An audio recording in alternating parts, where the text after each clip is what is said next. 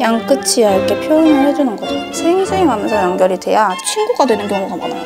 치는 게 아니라 끝을 살짝 날려주듯이 사람마다 배우는 속도들이 다 다르거든요. 그때가 제일 많이 이해하고 느는 시기. 그게 또 미끼 상품이 되는 거거든요. 어떤 걸로 매출을 올릴 수 있는지 많이 그 리터치는 서비스 차원이라서 하나하나 그렸던 것들 다 남아있고 오히려 리터치가 시간이 더 오래 걸릴 수도 있어요. 무리터치가 장점이자 아니면 무기가 될 수 있는 돈 3천만 원이 오가도록 인테리어가 하나도 제대로 안 끝나는 거예요. 철거는 다 시켜놨는데 뭐 올리질 않는 거예요. 계속 돈은 요구하고 그래서 3천만 원 사기 당하고 그냥 새로운 업체를 찾는데 사실 새로운 업체들도 남이 손댄 데는 안 들어올라 그래요. 그래서 주위 수소문해서 소개 소개 받아가지고 마무리했죠. 사실 제 마음에는 100% 들지는 않아요. 아무래도 이런 샵 같은 거 창업하실 때 원장님들 되게 많이 이런 일이 있으실 것 같긴 해요. 어, 너무 많으시죠. 인테리어 사기가 제일 겁나는 부분이기도 하고 이게 한번 손을 대면은 그 뒤에서 어떻게 될지를 모르니까 인테리어 업자들은 안 해주거든요. 남이 하던 거. 그래서 잘 알아봐야 될 게 뭐냐면 이 인테리어 사무소가 정확하게 이 사업자랑 일치하는지 인간 받아두셔야 되고 실제로 가서 거기에 사무실이 확실히 운영을 하는지를 보셔야 돼요. 그게 제일 첫 번째로 중요하고 이제 나머지는 신뢰 문제. 진짜 그냥 제 돈 주고 제대로 된 업체에다가 하는 게 맞을 것 같아요. 한 푼두푼 아끼다가 오히려 더 크게 날려버리니까 그런 일이 있으셨구나. 사실 저는 대출이 없이 3천만 원으로 해서 시작을 해서 다행이었지. 이게 대출을 껴버리잖아요? 그러면은 월세는 월세대로 나가고 대출은 대출대로 나가요. 그러면 이 사람이 진짜 무너지는 거예요. 자본이 없으신 분들이 그렇게 되면 그러니까요. 진짜 말 그대로 영끌해가지고 도전하시는 분들은 그냥 뭐 할 수가 없어요. 특히 뭐 아무것도 안 올라가 버리면은 한 차례 위기가 있었지만 흔들리지 않고 꿋꿋이 버텨온 원장님. 이렇게 굳건하게 버틴 경험들이 쌓여 지금 고수님의 모습을 만들어준 것 같다. 이게 진짜 원장님이 말씀하신 것처럼 엠보의 기본 결 공식이랑은 되게 다른 결인데 오히려 더 자연스러운 것 같아요. 맞아요. 그래서 이 사람이 결의 흐름을 본다는 게 뭐냐면 제일 메인 선이 뭐가 될지를 결 흐름을 보긴 해야 돼요. 그래서 위에서 봐도 안 되고 옆에서 봐도 안 되고 정면으로 봤을 때. 진짜 기존에 있던 털같이 털을 하나하나 보면은 끝은 얇고 중간은 굵고 다시 끝이 얇거든요. 그런 거를 똑같이 하나하나 양 끝이 얇게 표현을 해주는 거죠. 한 가닥 선의 굵기도 앞뒤가 다르게 하시는 거네요. 그쵸. 사실 근데 그 엠보로는 못 하는 거 아닌가요? 근데 엠보도 사실 할 수는 있어요. 할 수는 있는데 쉽지 않죠. 저는 딱 찍어서 딱 끝나는 그 선을 별로 좋아하지는 않아요. 그래서 스윙이 중요합니다. 모든 반영구는 다 스윙이 중요합니다. 스윙이라는 게 어떤 걸까요? 저는 바이킹을 타듯이 시술을 해라 그러는데 엠보를 할 때도 이렇게 스윙을 하듯이 바이킹을 타듯이 왔다 갔다 해줘야 이 끝선을 얇게 표현을 할 수가 있어요. 근데 그건 machine도 똑같아요. 이렇게 툭 툭 치듯이 하면은 끝이 뭉치거든요. 연결이 되려면 스윙 스윙 하면서 연결이 돼야 자연스러운 그라데이션이 되기 때문에 아 스윙. 네 그래서 보면은 지금도 탁탁 치는 게 아니라 끝을 살짝 날려주듯이 어, 아 무슨 말씀이신지 아시, 알겠. 헉, 원장님 혹시 수강도 지금 하고 계신가요? 너무 잘 가르쳐 주시는 것 같은데. 네, 저도 하는 거는 다 수강을 하고 있어요. 반영구 같은 경우는 어떤 게 기본적으로 basic 과정이 있고 expert라고 전문가 과정이 있는데 그 basic 과정은 눈썹, 입술, 아이라인, hairline 해가지고 기본적으로 이제 아카데미들에서 알려주는 것들이 있죠. 그런 거 알려드리고 이제 expert 과정 같은 경우에는 이런 feathering이랑 shading 기법들 그 특이한 기법들 있죠. 그런 것들이 다 포함된. 그러면 되게 오래 걸리겠는데요, 수강 시간이? 네, 그래서 저는 웬만 하면은 그 수강생 개인의 시간을 맞춰 드리고요. 그리고 수강의 기간을 저는 짧게 잡지 않아요. 절대 3개월 만에 배울 수가 없어요. 피부라는 걸 이해하기까지조차도. 그래서 저는 최소 6개월에서 1년 정도는 봐드리고 이후에 이제 부족하다 그러면은 더 봐드리는 편이거든요. 미팅 때 말씀하셨잖아요. 이미 현직에 나가 계셔도 부족하다 싶으면 다시 불러오신다고. 근데 그래야지 제일 많이 늘어요. 그때가 제일 많이 이해하고 느는 시기예요. 그래서 진짜 수업은 물론 다른 초보자들보다 훨씬 잘하게끔 내보내지만 실전 필드에 나가서 한번 경험을 했을 때 한 번 더 와서 수업을 할 수 있는 거죠. 그러면은 이제 정말 완벽하게 많이 이해를 하고 가세요. 수강의 진심인 고수님. 긴 경력만큼 수강에 대한 노하우가 많이 쌓인 듯하다. 근데 너무 얇게 이쁘게 잘 남죠. 네, 너무 잘 나오는 거. 지금 딱 보면은 그냥 털 같아요. 그러면은 만약에 여기 반영구를 배우러 오셨다가 원장님 토탈 하시니까 네일도 배우고 싶으시고 하면은 다 토탈로 알려주시는 건가요? 그쵸. 그런 거는 다 그래서 와서 반영구랑 속눈썹을 같이 하는 분들이 되게 많으세요. 반영구 하다 보면은 사실 반영구 자체만으로는 홍보가 쉽지가 않아요. 처음에 손님을 유치하기가 그래서 저는 이제 반영구 배우면 속눈썹 펌 같은 경우에는 그냥 무료로 같이 포함해서 알려드리면서 어떻게 보면 그게 또 미끼 상품이 되는 거거든요 접근성이 쉬운 거를 알려드리는 거죠 저는 소- 손님들이 속눈썹 펌을 하러 왔다가 반영구를 하고 피부 관리를 받고 피부 관리 받으러 와서 반영구를 하고 이렇게 되는 거죠 한 번 들어오면은 못 나갈 것 같아요. 뭐를 하나 자꾸 추가하게 되는 원장님 자꾸 머리 이렇게 하세요. 다음에 와보니까 또 핫한 거 하고 계시고. 이제 추가로 사실 경기가 너무 안 좋잖아요. 뭐 한 가지로만은 살아남을 수 없는 시대거든요. 그리고 하나만 잘해서도 안 되고 다 잘해야 돼. 그러니까 어떻게 하면은 손님이 쉽게 접근할 수 있고 또 어떤 걸로 매출을 올릴 수 있는지 많이 고민하게 되죠. 많은 반영구 테크니션들이 샵을 오픈하게 된다면 꼭 고민해봐야 하는 부분이다. 이미 포화 상태인 뷰티 시장에서 살아남기 위해서는 꾸준한 노력과 공부가 필요하다. 아까 그런 얘기 하셨잖아요. 이제 다들 어렵다. 원장님은 하시다가 좀 힘드시거나 뭐 어려웠던 적은 없으세요? 저는 항상 마인드 세팅을 흔들리지 말자 막 그런 게 있어요. 그래서 사실 막 코로나 때도 불경기다 힘들다 하지만은 또 하는 것도 많기 때문에 이래저래 손님들이 많이 왔거든요. 저는 제가 스스로 나태해지는 것만 조금 막으면은 그렇게 힘든 거는 제 스스로에 대한 그 문제지 시술이나 이런 거에 대한 문제는 조금 더 기술을 레벨업하고 싶다 그런 게 있지 그 외에 뭐 지금 하는 시술이 힘들다 이런 거는 없는 것 같아요. 그럼 고객님들은 어떠세요? 저는 힘든 고객님 만나본 적이 없어요. 어 진짜요? 그게 제, 제 복인 것 같아요. 손님들이랑 소통하면은 말이 되잖아요. 서로 말이라는 게 되잖아요. 그러면 서로 이해할 수 있는 그 범위가 있거든요.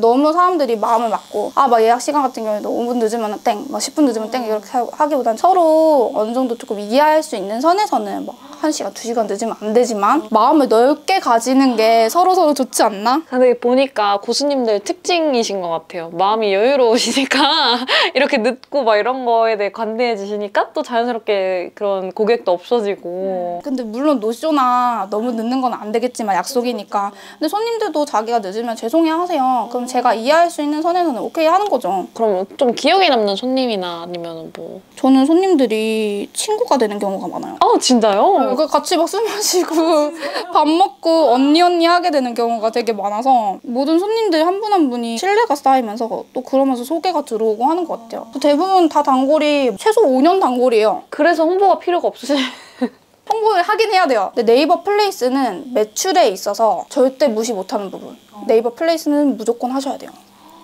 네이버 플레이스 등록 말씀하시는 거죠? 등록하셔야 되고 상위 노출되셔야죠. 그거는 이제 또 마케팅망에서 얘기를 마케팅부터 시술 팁까지 다양한 이야기를 하다 보니 어느덧 시술이 거의 끝났는데 이분은 눈썹 양이 양쪽이 달라요. 달라가지고 여기는 조금 더 채워야 되고 이쪽은 이미 채워져 있기 때문에 조금 터치가 확실히 덜 들어갔죠. 와 근데 진짜 자연스럽고 진짜 빨리 끝난 것 같아요 맞아요. 조금 터치를 더 한 거예요, 저는. 저 한번 보세요. 마지막으로 고객을 앉힌 뒤 눈을 뜬 상태로 빈 곳은 없나 체크해보는 원장님. 비어 보이는 곳을 채워주면 시술이 완전히 끝난다. 다 됐어요. 이제 일어나실게요. 정말 통증 한 번 없이 잘 끝났네요 시술 시간도 되게 원래 반영구보다 짧고 아무래도 마취 시간에 20분 정도는 아낄 수 있기 때문에 훨씬 쉽고 눈썹 하신 티가 안 나죠. 정말 반영구 하는 사람 같지가 않은 것 같아요 원래 이제 숱이랑 밸런스가 이제 맞잖아요. 아까는 여기만 진했으면 은 이제 밸런스가 맞기 때문에 자연스럽죠. 고생하셨어요. 시술을 마무리한 후 진짜 마지막으로 고객에게 시술 후 주의사항을 안내한다. 그냥 손으로 문지르거나 하지 마시고 자연스럽게 세안이랑 일상생활 다 가능하시거든요. 딱지 생길 일은 없지만 딱지가 생기면 절대 떼어내시면 안 되는 거. 이거는 세안이 다 가능한 건가요? 네, 그쵸. 세안 바로 가능하고 뭐 일상생활 하는데 전혀 지장 없어요. 고생하셨어요. 만족스러운 시술이 끝나고 5주 뒤 누카레쉬를 다시 찾은 제작진. 원장님 지금 혹시 뭐 하고 계신 거예요? 지금 리터치 하려고 하는데 좀 수정할 부분들을 찾아보고 있거든요. 근데 너무 잘 남아가지고 거의 할 게 없어서 부족한 부분 조금만 채우고 끝내면 될 것 같아요. 보통 리터치 할 때는 어떻게 진행을 하세요? 일단 고객님이 원하시는 거를 수정하시고 싶은 부분을 먼저 여쭤보고 난 다음에 이제 거기에 맞춰서 제가 좀 수정을 도와드리는 편인데 남아있는 상태를 보고 들어가거든요. 근데 지금 너무 잘 남아있으세요. 이렇게 보면 하나하나 그렸던 것들 다 남아있고 또 앞쪽도 보면은 그렸던 부족한 부분들 채우는 거 다 남아있거든요. 여기도 그렇고. 할 게 없어요. 진심으로. 5주가 지나도 거의 그대로인 시술에 만족한 듯한 원장님. 본격적으로 리터치에 들어가기 전 사진을 찍어두는 모습이다. 원래 이렇게 패더링 자체가 좀 많이 남나요? 어, 근데 패더링은 복불복이에요. 그냥 깊이 조절이나 잘 못하시면은 아예 통탈각 돼버리고 아예 안 남고, 만약에 이제 깊이라든지 모든 게 잘 맞으면 이렇게 잘 남죠. 그러면은 이렇게 잘 남은 경우에는 디자인은 따로 안 잡으시나요? 네, 디자인은 이제 고객님이 원하시면은 잡는데요. 지금은 이분, 이 고객님 같은 경우는 수정할 게 없다고 하셨잖아요. 그래서 이제 그냥 눈썹 정리만 하는 정도?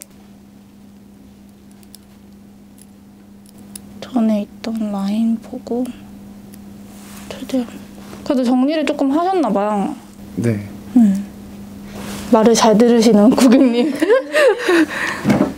보통 그러면은 잘 남아있는 경우에는 리터치가 얼마 정도 걸려요? 상담부터 시작해서. 상담부터 해서 한 20분이나 30분 안 걸리지 않을까요? 사람마다 남아있는 게 거의 다른데 사실 이렇게 남아있으신 분들은 그냥 사이사이만 조금 더 채우는 정도에서 끝나요. 그러면은 잘 안 남아있으신 분들은 거의 없어요. 다 잘 남아 오시는 분들이 대부분이어서 사실 리터치 할 게 없긴 한데 그래도 일단 수정하고 싶은 부분이 있을 수도 있으니까 오시라고 제가 말씀을 드리거든요.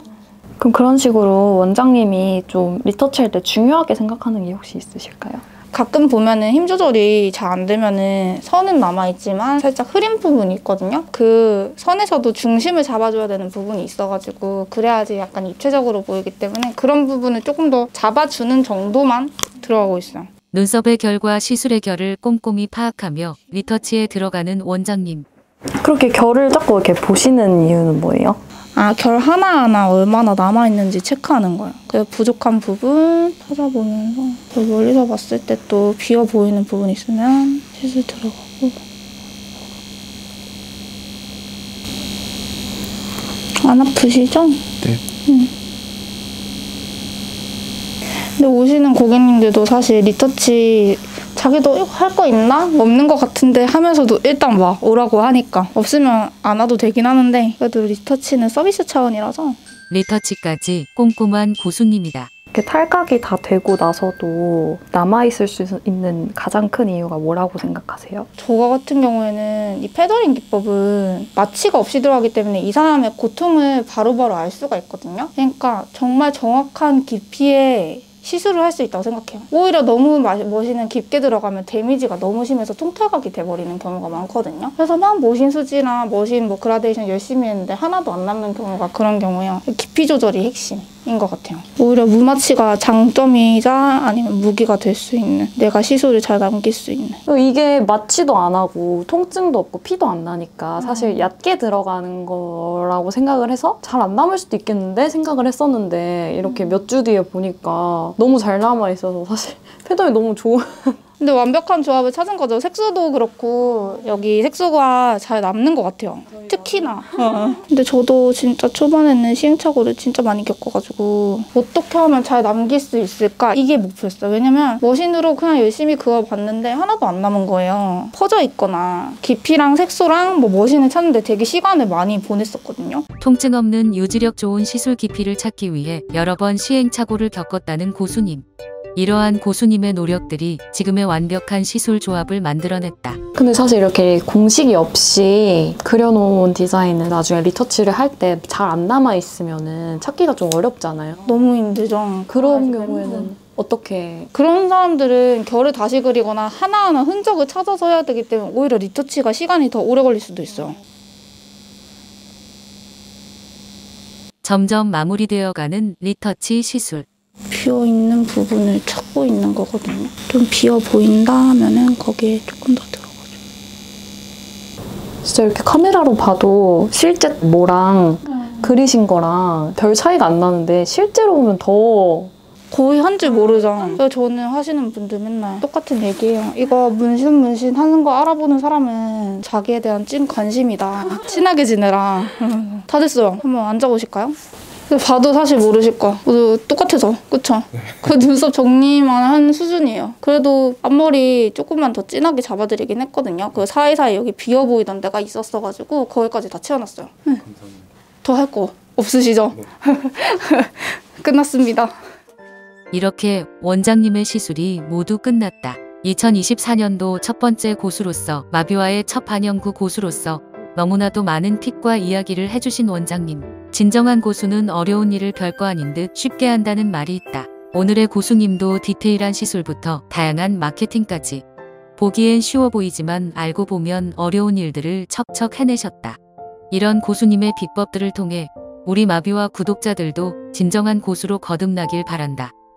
그리고 첫 번째 촬영 당일 그럼 원장님 오늘 잘 수고해 주셨는데 첫 번째 반영구 고수님으로서 어떠셨는지 제가 설명을 처음부터 끝까지 잘했는지 잘 모르겠고 너무 잘해 주셨어요. 제가 이제 아무래도 경력이 조금 나름 길다 보니까 좀 초보자분들이 이해하기 쉽게 설명을 잘 해줬는지를 모르겠는데 궁금한 게 있으시면 뭐 언제든지 뭐 인스타로 연락 주셔도 상관없고 도움이 됐으면 좋겠어요. 너무 감사합니다. 마지막으로 이제 처음 반영구를 시작하시는 반린이 분들에게 한마디 해주신다면? 사실 수강 선택이 굉장히 어려워요. 좀 정보라는 게 제한적이라고 해야 되나? 보여지는 거에만 집중돼 있다 보니까 실제로 여기 수강 후기라든지 이런 거 좀 찾아보시면 좋을 것 같고 면대면 얼굴을 보고 상담을 받으시는 게 제일 좋은 것 같아요. 자기가 어떤 환경에서 어떻게 케어를 받으면서 수강을 할 수 있는지 그런 거 조금 따져보시는 게 좋을 것 같아요. 사람마다 배우는 속도들이 다 다르거든요. 그러면은 내가 습득할 수 있는 시간을 충분히 기다려줄 수 있는 선생님한테 배우시는 것도 좋다고 저는 생각을 해요. 네, 감사합니다. 그럼 여태까지 반영구 페더링 눈썹의 고수 누카레 씨 원장님이셨습니다. 감사합니다.